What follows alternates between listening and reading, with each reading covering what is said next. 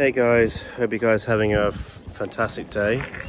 So yeah, today's Monday and um, yeah, just my first day. I'm just um, going back doing some filming, doing some, you know, uh, music videos, something like that for clients. So this is pretty cool.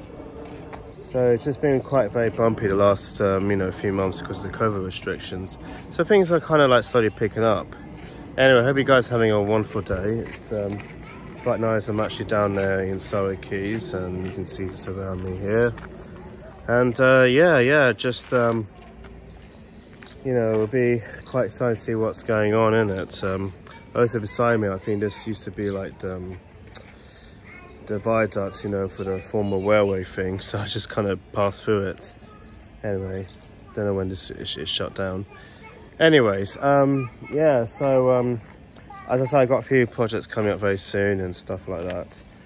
And um, yeah, just um, it'll be interesting what's, what's going to happen by next week, if any more restrictions are going to be lifted.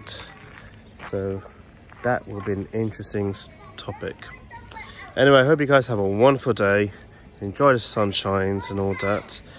And I'll see you guys around very soon. And yeah, I'll be posting more videos. And please subscribe to my channel and I'll update more videos for you very soon. Thank you.